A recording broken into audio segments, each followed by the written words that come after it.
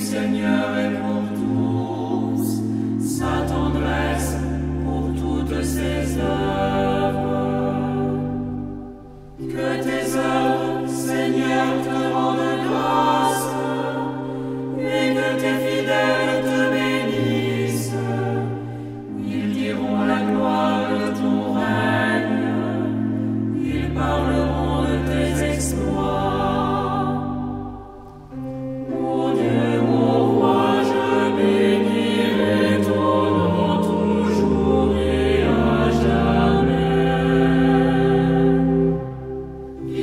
Notre rose en des exploits, la